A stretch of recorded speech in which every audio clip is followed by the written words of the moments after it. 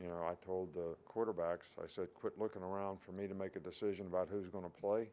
How about you playing good enough that I don't have a choice? That's what you can control. That's what you can do, and somebody needs to do that.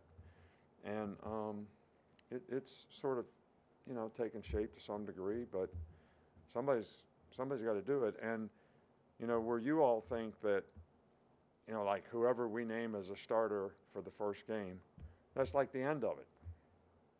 It's not the end of it. It's just the beginning. So what if a guy doesn't play good? He's not entitled to keep playing, and the guy that doesn't play is got every opportunity to practice and be more consistent and win the team over so that when he gets an opportunity to play, he plays really well.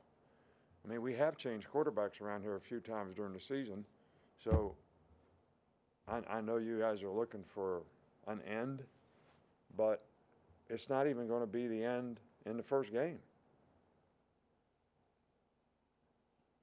You're looking at me kind of funny. Is that am I not explaining that very well?